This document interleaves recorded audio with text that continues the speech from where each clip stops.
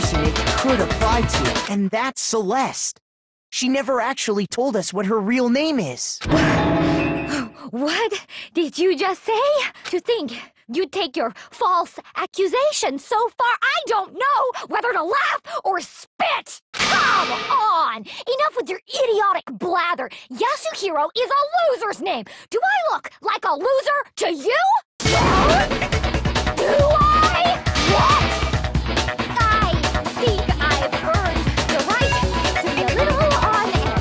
okay, then fill us in.